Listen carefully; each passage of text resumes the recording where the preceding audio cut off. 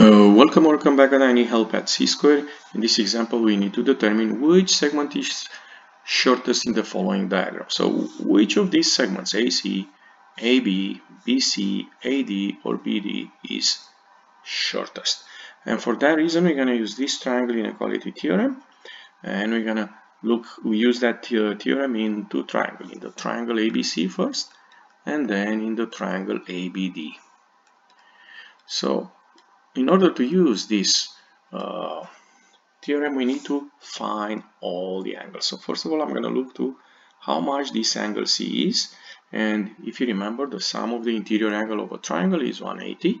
So I'm going to write here 110, which is the measure of angle CAB, plus uh, 32, which is the measure of angle ABC, plus the measure of angle C, is 180. I can combine 110 and 32, that is 142, uh, plus the measure of angle C equals 180, subtract 142,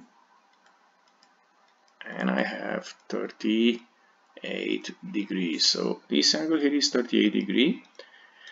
And now I can look to this angle and see which side is the shortest. And how can I do that? I'm looking to angles. So this angle is 32, which, which is the smallest in this triangle. That means AC, the opposite side, is the shortest.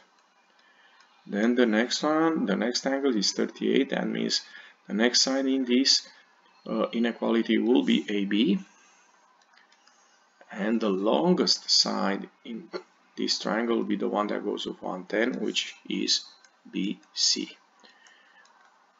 we finish with triangle ABC we're going to move to the next triangle triangle ABD ABD and the first thing I'm going to do I'm going to have to find this angle angle BAD and how am I going to do the same like here the sum of the interior angle of an angle of a triangle is 180 so I'm gonna have 114 which is the measure of angle ABD plus uh, 30 degree which is the measure of angle D plus the measure of angles BAD equals 180 we can combine 114 and 30 that will be 144 plus the measure of angle BAD equals 180 and now we can find the measure of angle BAD by subtracting 144 so that will be 36 degree. This angle here is 36 degrees so now we can use this triangle inequality theorem for this triangle. And we notice this is the smallest angle so the shortest side will be AB then the next side will be the one that goes with 36 right? That is BD and the largest side is going to be the one that goes with 114 which is AD and now the only thing we have to do is to combine these two inequality.